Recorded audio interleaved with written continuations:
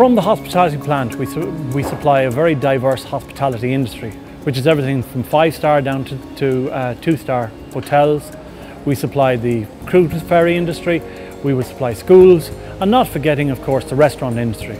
So therefore, out of this plant, we're supplying everything from towels, sheets, pillowcases, uh, table linen, dust mats, all dedicated to you, the customer.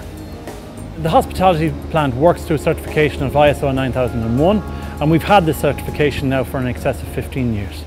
When the soiled hospitality linen arrives at the plant, it is offloaded and sorted by type into bags. The bag system transports it overhead to the washers. The linen is loaded into continuous batch washers, which operate on a straight-through principle, so the clean linen exits on the clean linen side of the plant. The soiled linen is processed according to predetermined wash codes, which control temperature, processing time, and chemical activity. Once the wash cycle is finished, the linen is transferred to the dryers for tumbling.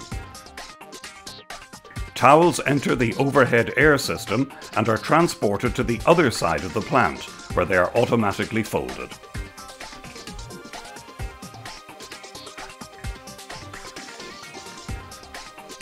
Roller towels are unrolled, washed, dried and re-rolled in a specialised machine that produces a high quality finish.